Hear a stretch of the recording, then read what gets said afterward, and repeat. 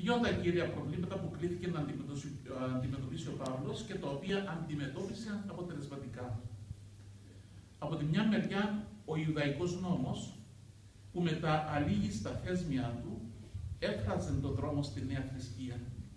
Και από την άλλη η διανόηση του φθήνοντος ελληνισμού που απαιτούσε με την περίτεχνη διαλεκτική της να εξηγήσει τα πάντα με τη λογική.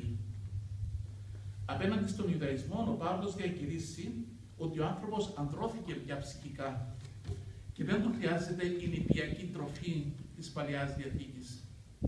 Με το αίμα του Χριστού γράφτηκε μια νέα Διαθήκη και αυτή έρχεται τώρα να τον θρέψει.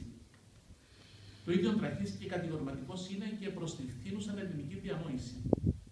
Γράφει στους Κορινθίους ότι αντί της φλίαρης σοφίας του κόσμου τούτου, αυτός ευαγγελίζεται τη μορία του Σταυρού, που προσφέρει όμως την λύτρωση των ανθρώπων, πράγμα πιο ουσιαστικό από την πυθό της λογικής και τη γλωσσική νεφράδια. Ο χρόνος και ο αμήλικτο νόμος της φθοράς ανέτρεψαν από τότε τα πάντα. Η μνήμη του Παύλου όμως υψώνεται πέραν της λύθη και του χρόνου και υπενθυμίζει συνειρμικά σε όλους τους λαούς και το όνομα της Πάφου ως της πρώτης ευρωπαϊκής πόλης που δέχτηκε τον χριστιανισμό. Εκείνο που μας κάνει ιδιαίτερα περήφανος για, για την παύλια χριστιανική καταγωγή μας δεν είναι το γεγονός ότι πρώτη στην Ευρώπη και πρώτη μετά τη μείζωνα Παλαιστίνη δεχτήκαμε τον χριστιανισμό.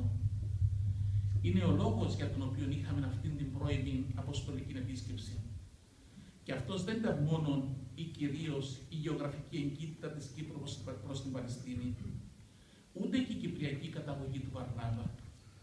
Ήταν κυρίως η ελληνική καταγωγή μας, το ελληνικό, ελληνικό ιστορικό υπόβαθρο της νήσου μας.